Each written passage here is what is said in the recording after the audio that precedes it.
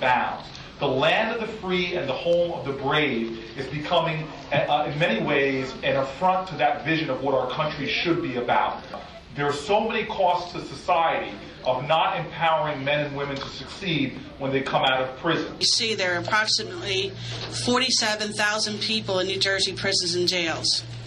The rate of incarceration per 100,000 residents is 190 for whites, 630 for Hispanics, and 2,352 for African Americans.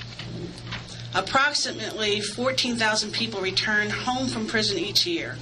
Because so many of the policies are short sighted and don't take into consideration the impact on families and communities, families become collateral damage of the same system theoretically designed to protect communities and rehabilitate those who are incarcerated. And we spend $900 million at the Department of Corrections. When you're facing an $8 billion deficit in the state, all of a sudden, well, maybe you're not reforming it for the right reasons. You might be reforming it for the wrong reason, but all of a sudden reforms become uh, something that I think may be embraced more easily. More people incarcerated in the United States than any other nation in terms of percentage of population on the entire globe. That is unacceptable. This is not the America of which we dream. We are costing lives, we're costing dollars, and all we have to do is not be tough on crime, but to be smart on crime. Right. We're not asking for anyone who has committed a crime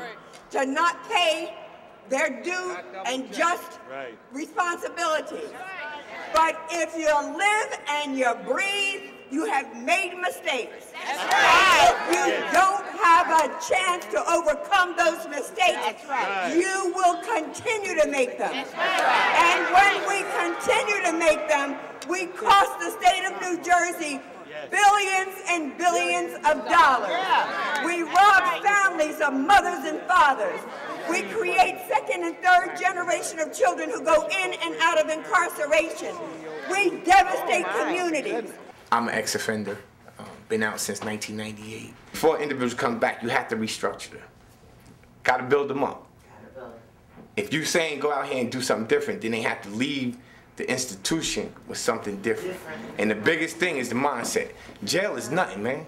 I tell you, I tell you lies if I tell you jail is all scary and all that. You're gonna adapt to your situation. But I want to tell you the full story is like you will lose your mind if you ain't cognitive. If you ain't strong spiritually or have some type of foundation, you will lose your mind and come out of there Broken. broken because of what comes with it, the stigma. Till you go to your grave. They'll smile, but the minute you well, he's ex-con. And on an application, if you put on that application, say, have you ever been convicted of a crime? If you say yes and tell the truth, they don't even process it. When you leave, it leaves. They put it right in the garbage can. I've been off parole for 15 years almost and still went to apply for a job in Foodtown and they told me no. I've got four children now. I'm a wife now. How long does society keep putting me down for what I did 15 years ago? That's the problem. Stop pointing your finger at what they did and help them get from where they are. In all spheres of administration and law enforcement and people who are supposed to be in a position to assist in helping um, ex-offenders get to where they need to, to be. There are some who brutalize people, but that breaks people's spirit and their motivation and their drive to move forward, and then we wonder why they reoffended. We have helped those um, inmates that couldn't read or write. We assisted them in reading and writing so that they would be able to take a GED while in prison. Society didn't like the idea that we was able to get an education, Education while free in in jail. prison and they had to pay for it. Mm-hmm. So what it did was stopped us once again from coming out with the ability to compete in society. In addition, when people are released from prisons, there are a number of restrictions on housing. For far too many people, there aren't homes for them to transition to. The hourly wage needed to afford an apartment at the average fair market rent in the state was $16.31. An individual earning minimum wage would have to work 127 hours per week to afford a one bedroom apartment. Makes transition to home very difficult. We're not trying to make it easy on crime.